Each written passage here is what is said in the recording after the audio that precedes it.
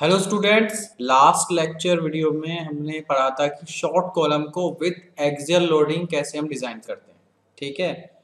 अब आज हम देखेंगे column subjected to axial loading and bending bending कब डेवलप होती है? जब लोड में कुछ इसेंट्रिसिटी होती है, जो मिनिमम सेंट्रिसिटी थी, उससे ज़्यादा सेंट्रिसिटी होती है तो उसमें बेंडिंग के लिए भी डिज़ाइन हमें करना पड़ता है। जैसे कि I S four five six कहता है कि ई e मिनिमम अगर less than equal to point zero five D D आपकी है लेटरल डायमेंशन तो वो एक्जेली लोडेड माना जाएगा और उसको मिनिमम एसेंट्रिसिटी के लिए डिज़ाइन किया जाएगा। जैसे कि लास्ट लेक्चर्स में हमने शॉर्ट कॉलम का देखा था कि उसमें ये कंडीशन हमारे न्यूमेरिकल्स में दी थी, जिससे हम ये समझ गए थे कि इसमें केवल एक्सेल लोडेड है, ठीक है? बट अगर e minimum greater than point zero five into lateral dimension हो तो उस केस में कॉलम जो होगा एक्सियली प्लस बेंडिंग मूवमेंट दोनों के लिए डिज़ाइन होगा।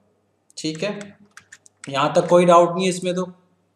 ये केवल एक्सेल लोडेड के लिए ये है एक्सेल एंड बेंडिंग ठीक है? अब आगे चलते हैं। तो लास्ट लेक्चर में कॉलम डिज़ाइन के लिए कुछ एज्यूमशंस थी, उनमें से एक एज्यूमशंस को हम दोबारा से रिपीट करते हैं। Strain is highly compressed fiber is 0.035 minus 0.75 times the strain at the least compressed fiber for no tension condition. ठीक है? इसमें देखो उसको समझ लेते हैं। पहले ये मोड ऑफ़ फेलियर को समझने पहले एज्यूम्पशन को समझ लेते हैं। केस वन है, अगर प्योर एक्सियली कंप्रेशन है, कोई बेंडिंग नहीं है, केवल एक्सियल फोर्स लग रहा है, उस केस में जो एक्सट्रीम फाइबर पे स्ट्रेन होगी, वो 0.02 होगी। ठीक है? ये एजम्पन्स है। केस टू में क्या है कि अगर कंप्रेशन विद बेंडिंग और न्यूट्रल एक्सिस लाई कर रहा है हमारे क्रॉस सेक्शन पे, के अंदर ही या हो सकता है उसके एज पे लाई कर रहा हो, लेकिन अंदर ही है, बाहर नहीं है क्रॉस सेक्शन का आउटसाइड नहीं है, तब जो एक्सट्रीम फाइबर पे जो मैक्सिमम स्ट्रेन पाई जाएगी वो 0.035 पाई जाएगी। ठीक है? उसके बाद केस थ्री है हमारा। केस थ्री कहता है कि compression with bending but not tension and neutral axis lies outside the section compression भी है बेंडिंग भी है टेंशन नहीं है, और न्यूट्रल एक्सिस लाई कहाँ कर रहा है? आउटसाइड आउटसाइड द सेक्शन उस केस में अगर आपको मैक्सिमम स्ट्रेन निकालनी है आपको एक्सट्रीम फाइबर पे तो जो मैक्सिमम थी आपके ऊपर वाले केस में ज़ीरो पॉइंट ज़ीरो थ्री, उसमें से माइनस कर देंगे zero point seven five times of e minimum. ठीक है, ये एजम्पन है ये आपको याद रखना है। अब इससे पहले क्या था, ये बता रहा था कि मोड्स ऑफ़ फेलर कौन कौन से फेलर होते हैं? लास्ट लेक्चर में थोड़ा सा डिस्कस किया था हमने, क्रशिंग और कंप्रेशन फेलर विदाउट टेंशन उस केस में हमें ई e मैक्सिमम जो है इसेंट्रिसिटी जो मैक्सिमम लेनी है वो इतनी लेनी सॉरी स्ट्रेन जो मैक्सिमम लेनी है, वो इतनी लेनी है, ठीक है? जो अभी हमने डिस्कस किया था ये वाला केस ठीक है? कैरेक क्रशिंग और compression fiber with tension in case of maximum strain highly compressed 0.035 इस केस में हमें ये वाला केस लेना है। और थर्ड है आपका tension failure in case steel fail before the ultimate strain concrete is maximum value ये, ठीक है? ये एज्यूम्पन्स है लास्ट लेक्चर में बता चुके हैं। तो design of column subjected to compression and uniaxial loading अगर आप टॉप व्यू देखें कॉलम का क्रॉस सेक्शन रेक्टेंगुलर है कि सर्कुलर है, जो भी है, उसके जो एक्सिस हैं ये, अगर लोडिंग हमारी एक्सिस की अलोंग लग रही है, यहाँ पे लग रही है, या यहाँ पे लग रही है तो क्या होगा? यूनिएक्सियल ठीक है? अगर यहाँ पे कहीं लग रही है तो बाई एक्सियल तो अभी हम बात कर रहे हैं केवल compression and uniaxial bending Consider a column subjected to axial load PU and moment MU. ठीक है? The effect of two forces is equivalent to the load PU acting at the eccentricity such that MU PU MU is equal to PU ये क्या कह रहा है? अभी हम column बात कर रहे हैं, उस कॉलम की जिसपे दोनों फोर्स लग रहे हैं। एक्सियल लोड और बेंडिंग मोमेंट एक्सियल लोड का तो समझ में आया पीयू ही लग रहा है। ये मूवमेंट कैसे डेवलप होता है? क्योंकि जो एक्सली लोडेड लोड है ना, जो हमारा लोड है, वो कहाँ लग रहा है? इसेंट्रिसिटी ई पे लग रहा है। ठीक है, अगर मोमेंट हमें इस एक्सेस पे निकालनी है तो P u multiply by e तो मूवमेंट ये आ जाएगी। ठीक है, हम पी यू के लिए डिज़ाइन कर रहे हैं प्लस इस मूवमेंट के लिए डिज़ाइन कर रहे हैं। क्योंकि हमारी जो मिनिमम इसेंट्रिसिटी थी ना, बीस एम उससे ज़्यादा इसेंट्रिसिटी यहाँ पे हो रही है। जो कोर्ट ने कहा था कि e minimum is less than equal to zero point zero five D उससे ज़्यादा इसेंट्रिसिटी इसलिए हमें मूवमेंट के लिए भी डिज़ाइन करना होगा। अच्छा अब क्या है कि ना, इसी केस को लेके, इन्हीं केस को लेके कर्व डिज़ाइन हुए design of such column involve complicated and lengthy calculation ठीक है? Based on exact analysis of such column interaction curve has been develop this curve help the designer given in SP 16 design handbook इसको समझना। RCC design में कुछ elements को design करना बड़ा complicated होता है। और कुछ की कैलकुलेशन बहुत लेंथी होती है। तो इनको कम करने के लिए ना एक कोड बनाया S P sixteen special publication या फिर आप कह सकते हो डिज़ाइन हैंडबुक ठीक है? इसको गूगल पे आप सर्च करोगे तो आपको मिल जाएगा। इसमें हमें चार्ट दी हुई हैं कर्व दी हुई हैं, जिससे हम डायरेक्ट कोई वैल्यू निकाल सकते हैं, ठीक है? तो कॉलम के केस में उसमें इस तरह की कर्व दी हुई है, जिसमें एक साइड है आपका पी यू पी यू क्या है आपका? Ultimate load capacity divide by f c k b D और दूसरी साइड है आपका movement divide by f c k b D square, ठीक है? और ये बीच में कर्व आपकी डिज़ाइन हो रही है। अगर यहाँ पे कर्व होती है ए पॉइंट पे हमें पॉइंट ले रहा है तो प्योर एक्सियली होता है सी पे प्योर मूवमेंट होता है और बी पे बैलेंस होता है। बैलेंस फेलर यानी कि आपका एक ही टाइम पे मैक्सिमम स्ट्रेस पहुँच रही है आपकी। तो इस कर्व की हेल्प से हम इन दोनों को फाइंड आउट कर सकते हैं या फिर इन दोनों की हेल्प से हम परसेंटेज ऑफ़ स्टील फाइंड कर सकते हैं इस कर्व को। एक कर्व मिलेगा कहाँ पे आपको? ये S P sixteen special publication code sixteen जिसको डिज़ाइन हैंडबुक भी कहते हैं, उसमें आपको मिल जाएगा। और ये फॉर्मूले ये याद करने की ज़रूरत नहीं है आपको। आपको जो चार्ट होगी उसमें लिखा हुआ है, आपका बस कोड की ये चार्ट एग्ज़ाम में मिल जाएगी। तो देखिए, देख लेते हैं कुछ इस तरह की हमारी चार्ट्स होती हैं। यहाँ पे लिखा हुआ है, जैसे कि यहाँ पे लिखा हुआ है क्लोज 13.2 पे मिल जाएगी आपको। चार्ट नंबर 31 बहुत सारी चार्ट्स होंगी। जैसे कि एफ़ वाई चार सौ पंद्रह के लिए अलग होगी 500 के लिए अलग होगी और साथ में d by D ratio cover by overall depth का रेशियो के according point zero five point zero one इस तरह से point zero one five point zero two चार, यानी कि एफ़ ई चार सौ पंद्रह की चार हमारे पास चार्ट होंगी। तो आपको ये दो वैल्यू देखनी है और उस हिसाब से चार्ट को सिलेक्ट करना है कि कौन सी चार्ट हमें चाहिए। ठीक है, उसके बाद आपने सबसे पहले क्या किया, आपको न्यूमेरिकल में दिया हुआ है कौन सी ग्रेड का कंक्रीट उसके बाद क्लियर कवर और ओवरऑल डेप्थ के रेशियो से आपको पता चलेगा कि आपको कौन सी चार्ट सेलेक्ट करनी है। चार्ट सेलेक्ट करने के बाद एक और इम्पोर्टेंट चीज़ है, जब भी आप एग्ज़ाम में बैठोगे और आपको चार्ट मिलेगी, सबसे पहले आप देखोगे न्यूमेरिकल में ग्रेड कौन सा दिया और चार्ट में कौन सी है। तुरंत आप एग्जामिनर को बोलोगे कि चार्ट सही है या रॉन्ग है। कभी कभी होता है कि न्यूमेरिकल में दिया हुआ एफ़ ई चार सौ पंद्रह आपके पास चार्ट आई है एफ़ ई पाँच सौ की तो दिक्कत हो जाएगी। तो आप तुरंत बोल देना। तुरंत चार्ट मिलती है आपको देखना है। यहाँ पे दिया हुआ है P u by f c k वाली वैल्यू जो आपके थोड़ा नहीं आ पाई है इसमें, और ये दिया हुआ है आपका एम यू एफ़ सी के बी डी स्क्वायर ठीक है? मान लीजिए, और ये दिया हुआ है आपका परसेंटेज ऑफ़ स्टील की curve P by f c k ये जो कर्व है ना, ये डार्क डार्क वाली, ये है पी बाई एफ़ सी के पी क्या है? Percentage of steel characteristic of concrete अब आपके पास तीन डाटा है। आपके पास ये है चार्ट में ये है, और पी बाय एफ़ सी के सबसे पहले आपने एफ़ वाई देखा, फिर आपने देखा डी बाई डी डैश इन दोनों से आपने सिलेक्ट कर लिया कौन सा चार्ट चाहिए। अब आपको न्यूमेरिकल में क्या पूछा, अगर परसेंटेज ऑफ़ स्टील निकालने को पूछा है डिज़ाइन के लिए तो आप ये दोनों गिवन होंगे। इन दोनों की हेल्प से आप वो पॉइंट निकाल लोगे जहाँ पे हमें इसकी वैल्यू मिल जाएगी अगर ये गिवन है, ये गिवन है, आपको कैपेसिटी निकालनी है तो आपको फिर निकल जाएगा, ये निकल जाएगा। मान लीजिए आपको मूवमेंट निकालनी ये गिवन है, ये गिवन है तो आपको मूवमेंट निकल जाएगा। इस तरह से इन तीनों में से हम कोई भी अननोन चीज़ फाइंड आउट कर सकते हैं। तो ये चार्ट है, आपका एक चार्ट ये रही चार्ट नंबर थर्टी टू इसमें रेशियो आपका ये है और एफ़ ई चार सौ पंद्रह ये है।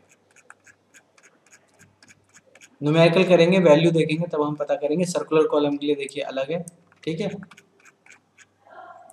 तो स्टेप्स क्या हैं? डिज़ाइन करने के लिए सबसे पहला स्टेप है कि आपको डी बाई डी रेशियो निकालना है। एफ़ ई आपको पता होना चाहिए और आपसे उससे आप क्या करोगे? सिलेक्ट कर लोगे चार्ट को। कैलकुलेट करना है आपको ये दोनों चीज़। इन दोनों के क्रोस्पेंडिंग से आपसे पी बाई एफ़ सी की वैल्यू निकालनी है और फिर डिज़ाइन कर देना है। उसके बाद आपको ए एस सी निकल जाएगा। पी निकल गया तो ए एस सी निकल जाएगा। P percentage of steel A s c area of steel ठीक है, उसके बाद आपको design of lateral ties lateral ties last video lecture में जो हमने शॉर्ट कॉलम के लिए की थी स्पायरल और लेटरल कैसे करते हैं सेम वही प्रोसीजर आपको यूज़ करना है। अब न्यूमेरिकल देखते हैं तो okay a short column reinforcement concrete का साइज़ गिवन है, ठीक है? Six bar of twenty dia यानी ए एस सी गिवन है। साइज़ गिवन है ए एस सी गिवन है, यानी पी हम निकाल सकते हैं percentage of steel equally distribute two faces determine the ultimate load capacity ultimate load यानी पी यू हमें निकालना है।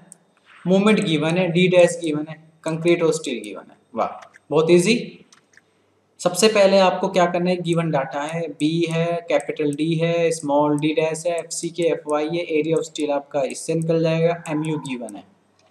आपने क्या किया M u by f c k b d square की वैल्यू निकाली, क्योंकि एम यू गिवन है एफ़ सी के गिवन है बी गिवन है डी स्क्वायर गिवन है। परसेंटेज ऑफ़ स्टील भी निकाल लोगे, क्योंकि एरिया गिवन है। P by f c k भी निकालोगे। अब जो चार्ट थी हमारी, उस चार्ट में यहाँ पर था M u by f c k b D square यहाँ पे पी यू था और जो ये वाली कर्व थी, ये वाली आपकी, ये वाली थी। तो आपको दो चीज़ें पता है पी यू आपको निकालना है। तो चलिए हम चार्ट देखते हैं।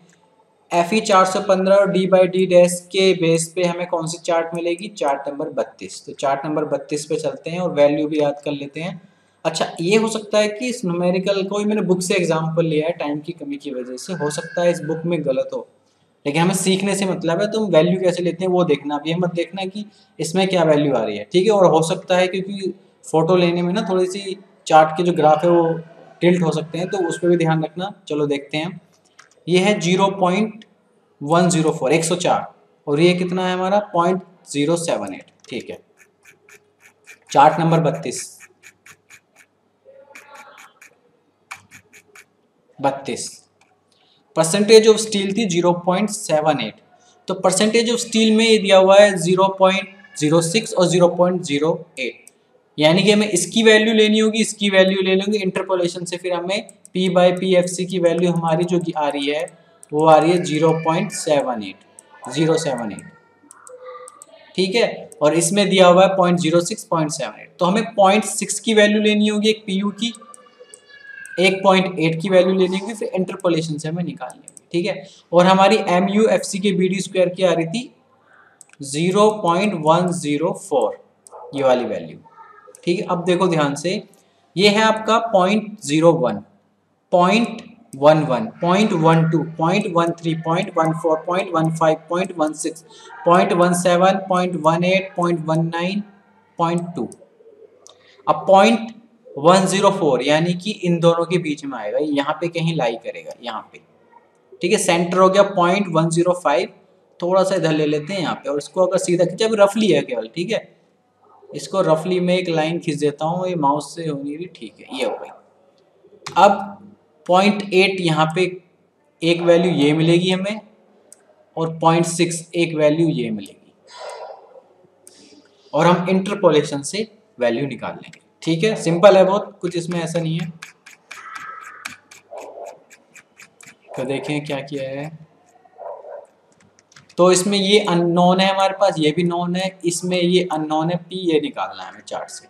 तो देखिए P by f c k point zero six में P u by f c k b D की वैल्यू इतनी आ रही है। पी बाई एफ़ सी के ज़ीरो पॉइंट एट में इसकी वैल्यू इतनी आ रही है बट हमें इसमें चाहिए तो इंटरपोलेशन लगाएँगे और इससे P u by f c k b D की value point four two zero आ जाएगी। एफ़ सी के नोन है बी नोन है डी नोन है, इनका मल्टीप्लाई करेंगे तो P u ultimate load capacity of column की one zero one zero kilo newton हमारी कैलकुलेट हो जाएगी। बहुत ही सिंपल है। इसमें कुछ भी नहीं करना स्टेप याद रखना है बस आपको। Next numerical determine the bending capacity okay movement निकालना है इसमें। कॉलम साइज़ गिवन है ए एस सी गिवन है two side column subject to axial load P U given है कंक्रीट स्टील गिवन है डी डैश गिवन है, बहुत simple है। बी गिवन है डी गिवन है डी डैश गिवन है ए एस सी निकाल लेंगे F C K F Y P U given है। ए एस सी गिवन है, उससे परसेंटेज ऑफ़ स्टील निकल गया, ये हमारा P u P y f c k निकल गया, जो हम कर्व में देखेंगे ज़ीरो पॉइंट सिक्स थ्री याद करो ज़ीरो पॉइंट सिक्स की वैल्यू हमें पता है चार्ट में, और ज़ीरो पॉइंट एट की। और ये इंटरपोलेशन से हमें निकाल लेंगे। P u by f c k b D की वैल्यू इतनी आ रही है। अब चार्ट कौन सी सिलेक्ट होगी? डी बाई डी डैश के बेस पे और एफ़ ई चार सौ पंद्रह के बेस पे डी चार्ट नंबर बत्तीस। और फिर वही सेम इंटरपोलेशन से हमारे P u by f c k b D और P by f c k ये गिवन है तो movement by f c k b d square point one three आ गई। फिर एम यू बाई हम नाइन्टी फाइव किलोमीटर पर metre निकल गया। ठीक है? एक बार चार्ट देखना और बता देता हूँ मैं आपको। एक बार और फिर मैंने बार बार मैं हर न्यूमेरिकल के लिए चार्ट हम नहीं देखेंगे। जैसे यही चार्ट है। आपको एक वैल्यू ये है, एक यहाँ पे P u by f c k b D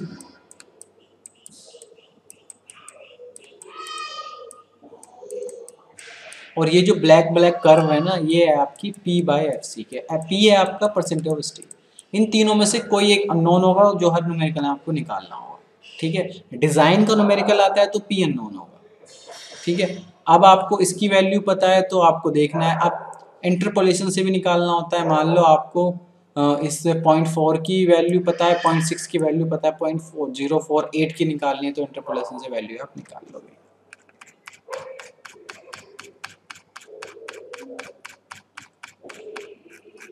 हम्म। ये न्यूमेरिकल हो गया था chart number thirty two interpolation से हमने निकाला, ये आ गया, ये न्यूमेरिकल भी हो चुका था। नेक्स्ट न्यूमेरिकल डिज़ाइन देखो डिज़ाइन करना है एक स्क्वायर कॉलम जिसमें 500 हंड्रेड mm साइड है तो दूसरी साइड में 500 हंड्रेड mm होगी। पी दिया हुआ ultimate out carrying capacity eccentricity दी हुई है 180 mm ग्रेड दिया हुआ है एफ़ दिया हुआ ठीक है। तो डायमेंशन हमें याद है लेटरल डायमेंशन हमें पता है कैपेसिटी पता है इसेंट्रिसिटी पता है एफसी के पता है एफवाई पता है। क्लियर कवर एज्यूम कर लिया, जिससे हमें डी बाई डी डैश निकल जाएगा। ये पॉइंट वन आ गया है। ठीक है और एफ़ ई चार सौ पंद्रह चार्ट नंबर बत्तीस पे जाना है। सबसे पहले उसके लिए हमने P u by f c k b D निकाला पॉइंट टू और M u by f c k b D square निकाला। अब एम यू कहाँ है? एम यू तो गिवन नहीं है। तो एम यू मैंने बताया था पी यू बाई इसेंटिसिटी तो इससे हमारा एम यू निकल जाएगा। तो M U by F C K B D square और ये दोनों रेशो निकल गए हैं। इन दोनों को चार्ट नंबर बत्तीस में देख के हम क्या निकाल लेंगे? पी बाई एफ़ सी के। ठीक है? और एफ़ सी का मल्टीप्लाई इसमें करेंगे तो परसेंटेज ऑफ़ स्टील निकल जाएगा। डाया एज्यूम कर लेंगे। A S C percentage of steel से ए एस सी निकाल सकते हो इजिली बहुत। और फिर डाया एज्यूम करके आप नंबर ऑफ़ बार निकाल सकते हो। पच्चीस का डाया एज्यूम कर लिया नंबर ऑफ़ बार अब यहाँ देखो, यहाँ थोड़ा सा ध्यान देने वाली बात है। थोड़ा सा और ऊपर। परसेंटेज ऑफ़ स्टील कर्व से मिल गया है और एरिया ऑफ़ स्टील हमें इस फॉर्मूले से हमने निकाल लिया है। यहाँ तक कोई दिक्कत नहीं। उसके बाद क्या करते हैं, हम डाया एज्यूम किया हमने 25 का। अगर 25 का डाया मैं एज्यूम कर रहा हूँ तो नंबर ऑफ़ बार जो आ रहे हैं सिक्स पॉइंट सिक्स टू आ रहे हैं। इसको राउंड अप करके सेवन हो गया। क्या किसी एक स्क्वायर कॉलम में सेवन बार हम नहीं डाल सकते। ठीक है? एक, दो, तीन, चार, पाँच, छ सात इस तरह से बार हमारा अरेंजमेंट नहीं होती है। सिमेट्रिकली होता है, या तो दोनों फेस पे होंगे, इधर वाले दोनों फेस पे होंगे। तो हम सात को इसको आठ कर दें। अगर मैं इसको आठ करता हूँ, सात बार इज़ नॉट सुटेबल आठ बार इज़ अनइकोनॉमिकल तो हमने क्या किया? चार तो पच्चीस के और दो तीस के हमने प्रोवाइड कर दिए। ठीक है? तो ये सिमेट्रिकल भी हो गया। Lateral tie same as last lecture dia of tie six M M pitch find करनी है तो इन जैसे जो भी आपका एक्सीड नहीं करना चाहिए तो 250 हमने ले लिया तो 6 एम mm की टाइज ढाई सौ सेंटर टू सेंटर ये प्रोवाइड कर दिए 500 बाई 500 स्क्वायर कॉलम चार बार 25 के, ये वाला ये वाला ये वाला ये वाला, और दो बार 30 के, और टाइज हमारी ये। ठीक है? जो चीज़ें लास्ट लेक्चर में हो चुकी हैं, उनको मैं थोड़ा फास्ट ले आता हूँ, और जो इसी लेक्चर में नई चीज़ें, उनको थोड़ा स्लो करके चलता हूँ। तो ये मैं सोचना कि बड़ा फास्ट है जो चीज़ फास्ट है, वो आप लास्ट लेक्चर देख चुके हो, ठीक है? जैसे कि पिच का है पिच की कैसे निकालते हैं? पिच होती है स्पेसिंग लेटरल टाइज की, वो कैसे निकालते हैं? वो दिया हुआ है। डायमीटर कैसे सिलेक्ट किया वो लास्ट लेक्चर में गिवन है। नेक्स्ट न्यूमेरिकल है डिज़ाइन और इन्फो सर्कुलर कॉलम डिज़ाइन करना है, ठीक है? 500 हंड्रेड एम डाया है कैपेसिटी दी हुई है मूवमेंट दिया हुआ है, ठीक है? तो सब कुछ तो गिवन है, देखते हैं क्या दिक्कत है इसमें। D P U M U F C की एफ़ वाई देखो यहाँ आई एस कोड क्या कहता है? क्योंकि यहाँ पे जो दिया हुआ है ना माइल्ड स्टील दिया हुआ है, ढाई सौ। तो आई एस कोड कहता है, अगर आप ट्वेंटी एम mm तक का डाया जो हम डाया लास्ट में एज्यूम करेंगे, अगर हमने ट्वेंटी एम mm तक का डाया एज्यूम किया है तो एफ़ वाई ढाई सौ ठीक है। लेकिन अगर ट्वेंटी से हम ज़्यादा यूज़ करेंगे तो फिर दो सौ चालीस एम हम इसकी स्ट्रेंथ लेके चलेंगे कैरेक्टरिस्टिक से तो पहले तो डी बाई डी डैश क्योंकि पचास M M clear cover assume कर लिया और एफ़ ई ढाई सौ चार्ट नंबर फिफ्टी टू ठीक है? P U by F C K B D square ये आ गया M U by F C K D cube ये आ गया डी क्यूब इसलिए क्योंकि वो सर्कुलर है तो बी इंटू डी सेम है तो B D square B D cube हो जाएगा। चार्ट नंबर फिफ्टी टू से P by F C K, ये आ गया percentage of steel percentage of steel से आप एरिया ऑफ़ स्टील निकाल लोगे, ये निकल गया। अब यहाँ ध्यान देना। एरिया ऑफ़ स्टील ये निकला है। अगर आप 20 एम mm का डाया यूज़ कर हो तो एरिया ऑफ़ स्टील ठीक है। लेकिन आप 20 से ज़्यादा का डाया यूज़ करो तो फिर एरिया ऑफ़ स्टील चेंज करना होगा, फिर वो 240 के लिए निकालना होगा, इतना बढ़ जाएगा एरिया ऑफ़ स्टील। ठीक है? तो हम आठ बार 25 के डायमीटर के हम एज्यूम कर रहे हैं प्रोवाइड कर रहे हैं, जिसका एरिया ऑफ़ स्टील 3926 आ जाएगा।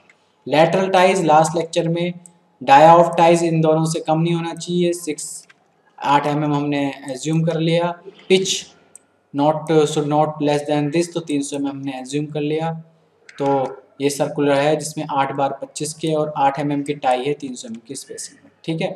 अब इसके बाद ध्यान देने वाली ये बात है, इसी में अगर न्यूमेरिकल में ये आ जाए डिज़ाइन है circular column with spiral reinforcement तो लास्ट लेक्चर में शॉर्ट कॉलम वाले में स्पाइरल का मैं पूरा बता चुका हूँ कैसे स्पायरल रिइंफोर्समेंट प्रोवाइड करते हैं। बस एक चीज़ का इस कॉलम में ध्यान रखना है आपको। देखिए, आपने जहाँ जहाँ पी यू यूज़ किया है पी यू अल्टीमेट कैपेसिटी आपको याद होगी कि पी यू की वैल्यू किसमें? स्पाइरल में। क्या होती है? 1.05 से मल्टीप्लाई करते हैं पी यू में। तो आपको पी यू की वैल्यू यहाँ पे क्या लेनी है? 1.05 टाइम्स तो फिर ये रेशो चेंज हो जाएगा। फिर कर्व में पॉइंट ही दूसरा आएगा। फिर सब कुछ design same as spiral ties वाला। तो ये होमवर्क है आपके लिए। स्पायरल टाइज से इसी को डिज़ाइन करके देखिए आप कर लोगे आराम से। बस पी यू की वैल्यू चेंज करनी है। उसके बाद ये असाइनमेंट है, बहुत छोटा असाइनमेंट है, आपको तीन से चार दिन के अंदर देना है थ्योरी का है, चार क्वेश्चन है, ठीक है, ये मैं अटैच कर दूँगा, ये फ़ाइल भी अटैच कर दूँगा मेल के साथ। तो कोई भी डाउट हो तो कोई भी डाउट पूछता नहीं है यूट्यूब पे कमेंट करें। अगर डाउट नहीं पूछोगे, हम तो ये समझेंगे कि बढ़िया चल रहा है सब कुछ कुछ इंप्रूवमेंट नहीं करेंगे, कुछ और स्लो करना है फास्ट करना है, जब तक कमेंट नहीं करोगे तो हम कैसे बताएँगे कि हमें स्लो पढ़ाना चाहिए फास्ट पढ़ाना चाहिए, और एग्ज़ाम्पल देने चाहिए, क्या करना चाहिए। तो कमेंट करो वीडियो के नीचे कोई डाउट है तो ठीक है? Thank you